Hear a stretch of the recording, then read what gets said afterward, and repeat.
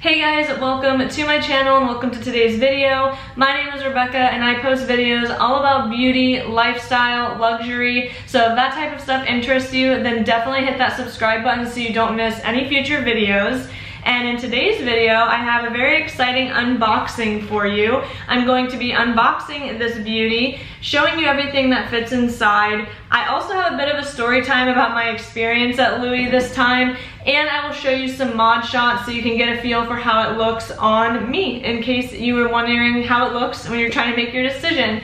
So without further ado, let's just get into the video.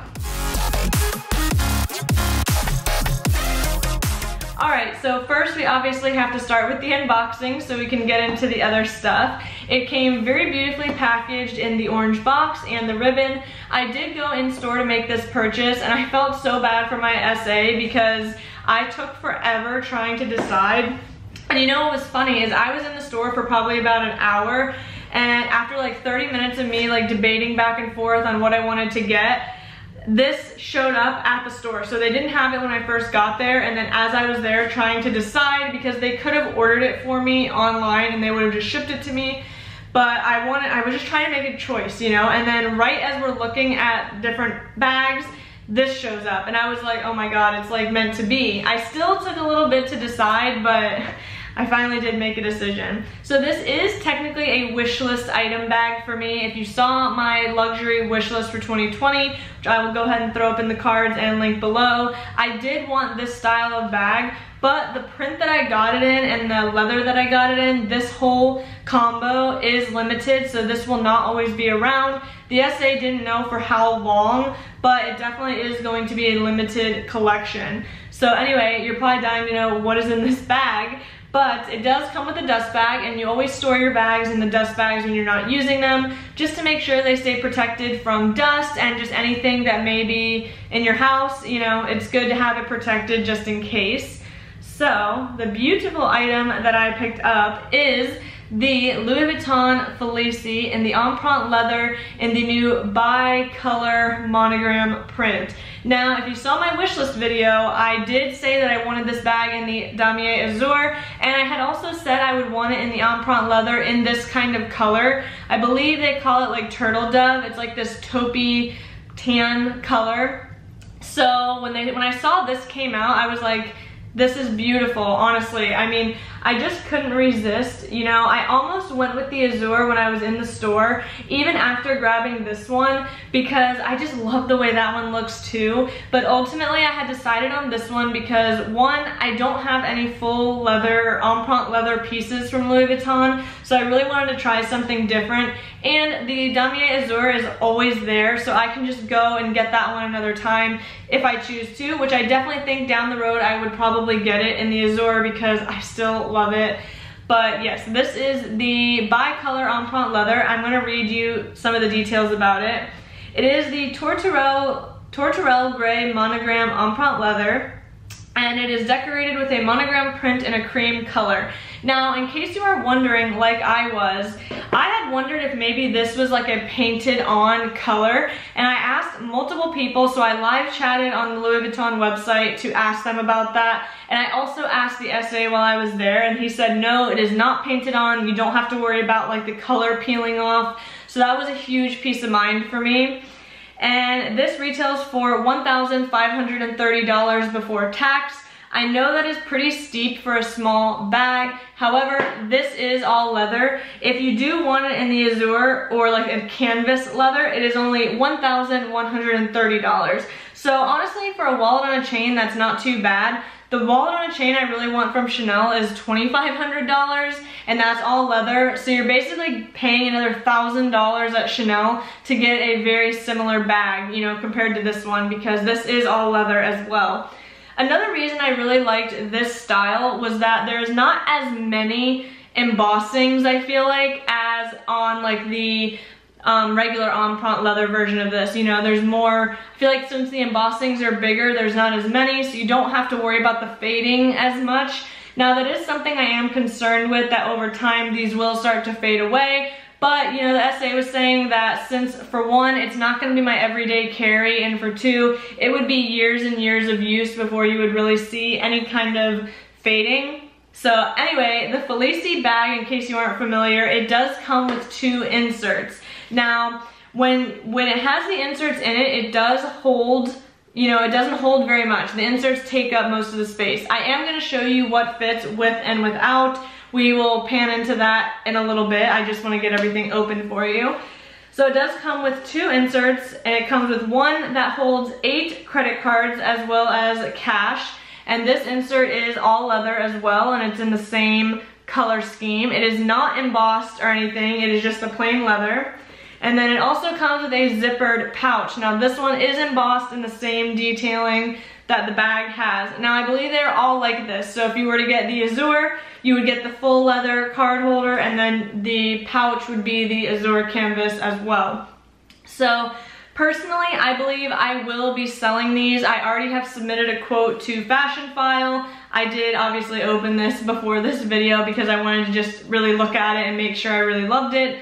But I did submit a quote to them and I do plan on probably selling these only because I just don't really need this kind of card holder. I have my Chanel card holder. I have my Louis Vuitton key pouches that I use as a card holder. So I just don't think I will really utilize this as much. To me, this is not, I don't know, it's just, I'd rather use my Chanel card holder over this. But if you are somebody that truly just wants to use this as it comes, this is great because you can fit at least eight cards if you're not doubling it up. You can fit your cash and you could probably fit like a few things in this too and then you're good to go and everything is organized inside the bag. So it is definitely a very nice option to be able to have these be removable because, you know, even if you did keep them, you don't have to use them every single time or you could just use one at a time.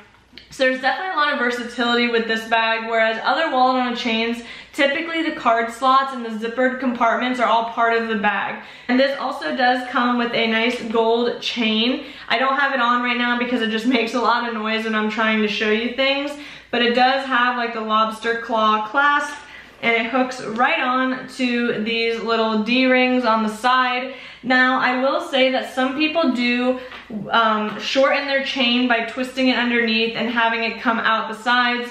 I personally will not be doing that because I feel like the chain will rub against the leather here and cause unnecessary wear. And honestly, I try to do everything they say and wear the bag how it's intended because if there's ever a quality issue at some point, you know, I feel like they're more willing to help. But if they were to see, you know, some signs of wear that wouldn't happen if you didn't do your own modifications, they might not be so lenient and willing to help. Um, so yeah, I don't plan on wearing this in any particular way other than how it is intended to. But you do have that option, you know, you can clip it on, twist it underneath and close it and then it would be a shorter bag. So let me now, let's jump into what fits, then we will get into the mod shots, and then I'll also kind of tell you my story. I had a pretty bad experience with one SA, and also I noticed some pretty atrocious quality pieces, so I definitely want to tell you guys about that too later in the video. So let me go ahead and switch the angle, and we're going to go over what fits and how I intend to stuff the bag. Alright, so I hope you guys can see well. I apologize if the angle is not the best. I just really want to be able to show you everything that fits inside of the bag. So I have the two inserts that it comes with. I have my Victorine wallet. I have my two key Clés. I do currently have to have my keys off of the ring because my six key holder is currently being sent off for repair. So I don't have that to show you how it fits in at the moment, unfortunately. But I also have my Chanel card holder, which is what I typically have been using lately. So first, let's go ahead and show you what fits in with the inserts. So as you can see with the inserts, there is not a ton of room. There is also a slip pocket back here, just so you're aware. I don't really intend to use it, but let's see if the phone fits. Okay, that's good actually. I have the iPhone 11 Pro, not the Max, just the Pro, and it does fit comfortably inside of the bag, and the bag will still close up nicely and no bulging. I of course don't want the bag to have any unnecessary stress because I really don't want to wear the leather out and I don't want to put any stress on the bag. So with the phone in there, let's see if I could fit my key pouch, which I do currently have my keys in. So I could fit it down in there horizontally. Let's see if it closes. The bag does close and it's not really, I'm trying to show you, It's not really unnecessarily bulging out but this is pretty much the limit with the inserts. Now, I probably could also fit a little lip gloss down in there, which let me go ahead and actually grab a lip product so we can see how that fits. All right, I grabbed a couple other items just to test. I have this little travel Advil bottle. I am prone to headaches, so I pretty much always have to have Advil in my bag. And I grabbed this mini Pat McGrath lip gloss and then this Bath & Body Works hand cream. So let's see with what we have in it so far, which is the key pouch, the two inserts, and my phone. We can slide the lip gloss down on the side, and I could probably slide, no. So look, I put in the lip gloss on the one side and now I put in the Advil. As you can see, the bag is being stretched out so that is not going to work that way but I probably could just set it right on top. Let's see.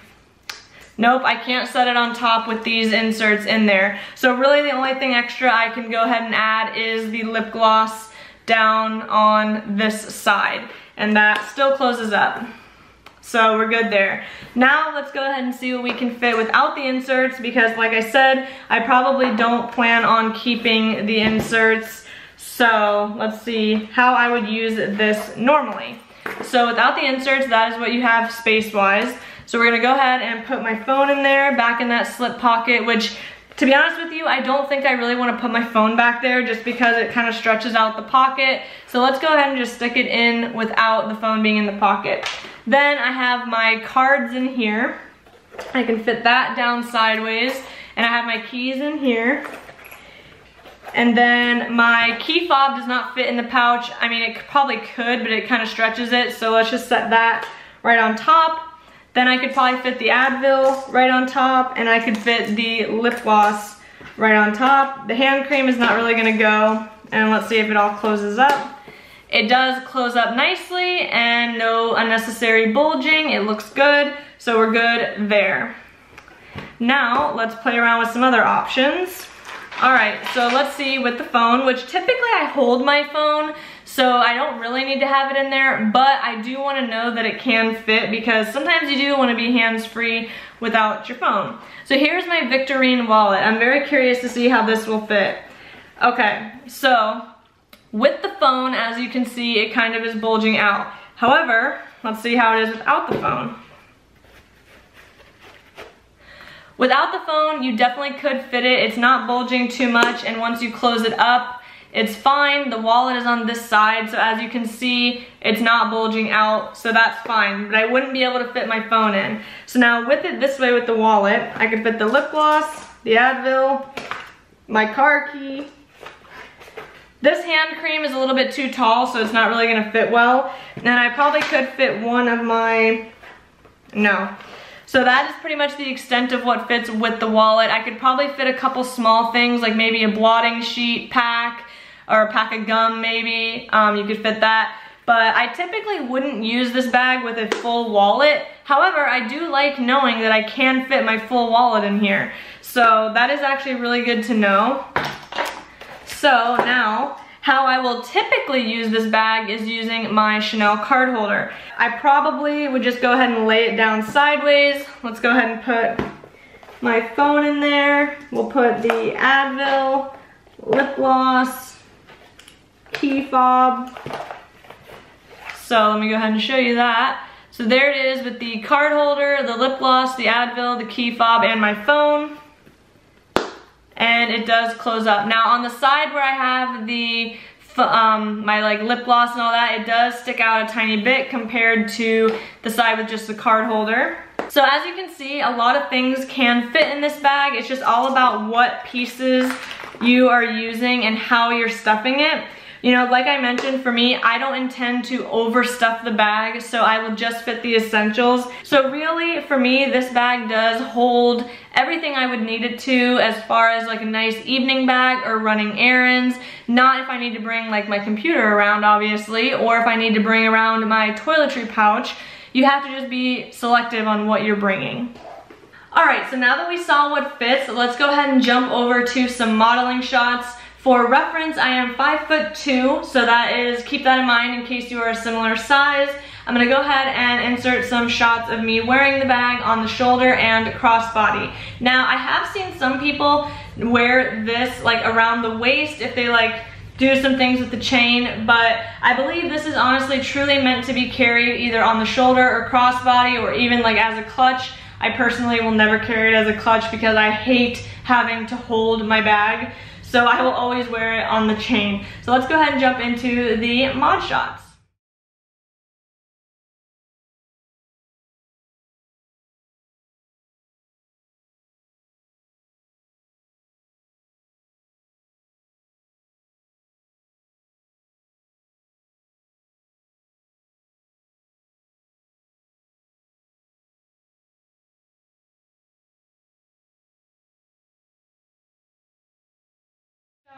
As you can see from the clips, it does sit below my hips when I have it on the shoulder and then it pretty much sits right at my hip when I have it crossbody. Now, I do want to note that this is a lighter bag, so you do have to worry about color transfer. You know, the SA was saying that with any lighter bag, leather, canvas, you do have to worry about like denim rubbing off on it.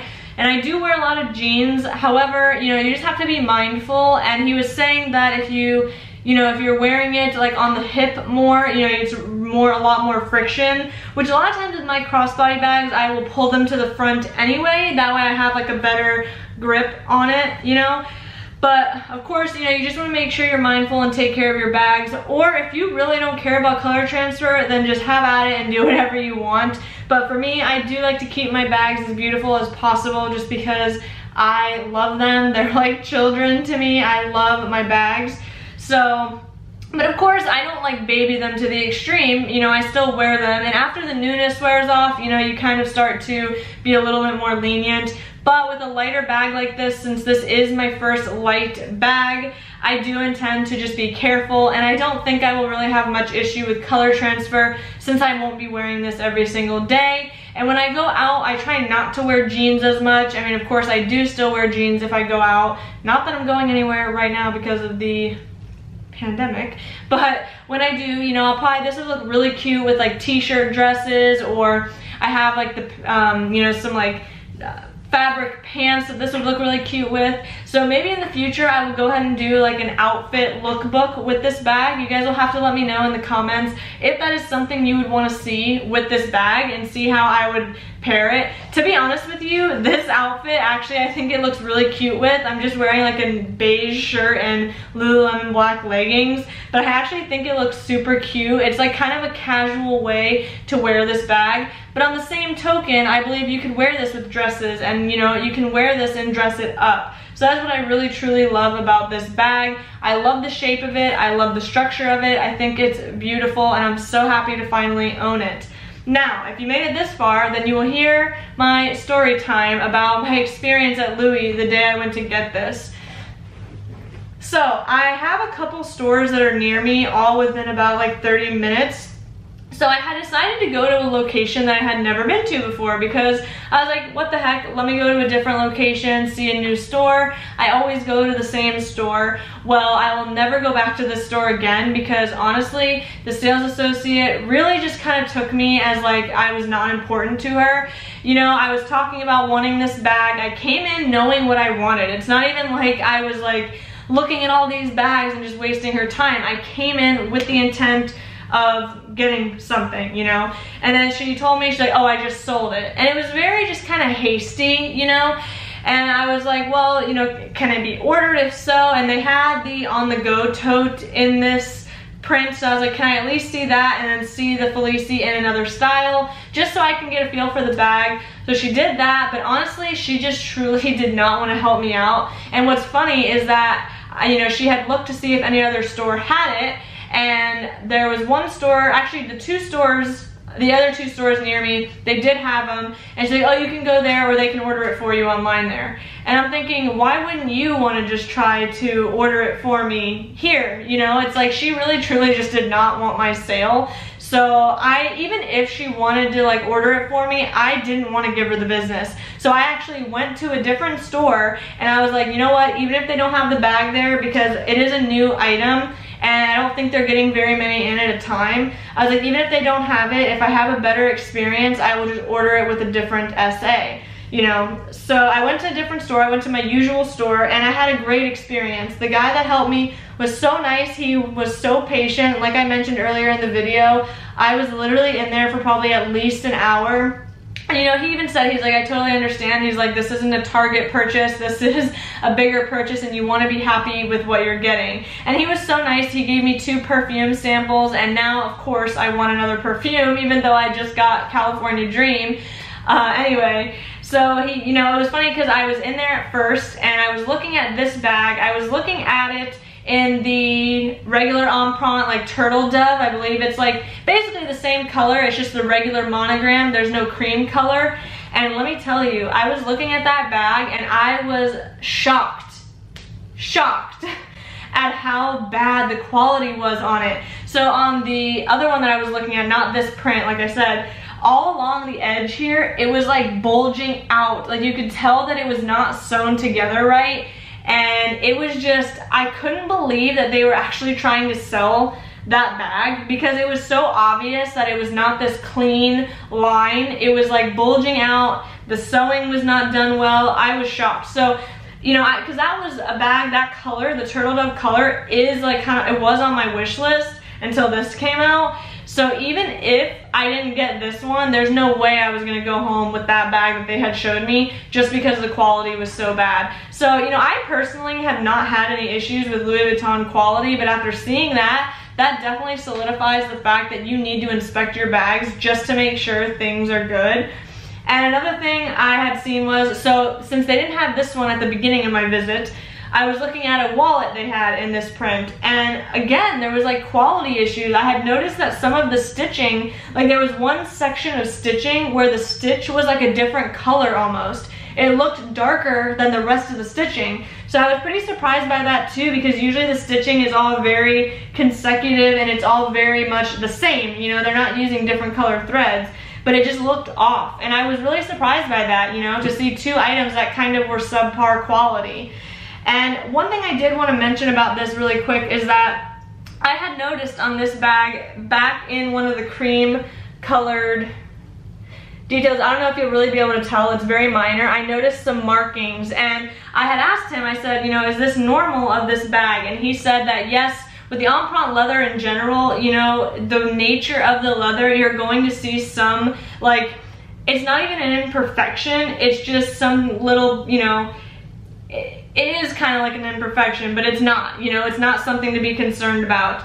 And I was adamant on this, like I asked it, you know, different ways kind of to make sure that he wasn't like fibbing to me, which like I said, he was very nice and I don't think that's what he was trying to do. He wasn't pressuring me to buy anything, which I love that. I hate when I go in and I feel pressured to just walk out with something, but he was not doing that and he said that, you know, if you really are looking so close at the bag, you're gonna see some of these things just because of the nature of the leather. And he said, if you're looking for perfection, you know, this is not the type of material that you wanna go for just because you know, you're gonna see some of these minor things, but I really only have that one spot that you can like kind of see something seems like, I don't even know how to explain it and it's very minor, but I just wanted to throw that out there. So if you do get this bag and you notice something like that, my SA personally did tell me that it is normal. If you've heard otherwise, definitely let me know in the comments, but I'm pretty sure that it's all normal. So overall, I'm really happy I went to my usual store. I definitely won't be going to the other store that I had went to, and it's kind of a shame because really the customer service, especially for luxury, makes a big difference. You know, if I'm spending $1,500 or whatever, I want good service. I want somebody that feels like they care about me, you know? So, you know, customer service can really make or break a store and I will probably definitely never go back to that other store unless there's like maybe the last one of something and I just have to have it now and I can't get it at my store, then maybe I'd go there. But otherwise I don't, I don't think I'll really be going back. I won't really be going back there just because of that poor experience. You know, like I said, the guy that helped me at my usual store, he literally spent like probably over an hour with me going back and forth, talking about the pieces, and you know, she barely didn't, at the other store, she barely wanted to give me five minutes of her time. So the experience of your SA definitely makes a big difference. And I know for sure now when I want to go buy something else, I'm going to try to buy from him and plan it on a day when he's there just because he was so pleasant to me, you know, and I would want to give him the business. So anyway, that pretty much wraps up this video. I really hope that you guys enjoyed seeing what it fit in it and seeing the unboxing and hearing my story. If you made it this far, go ahead and leave me a comment of an emoji. I would love to know if you have made it to this point, so go ahead and leave some kind of emoji in the comments. But before you go, don't forget to subscribe, and that is all I have to say for this video. So I will see you guys in the next one. Bye.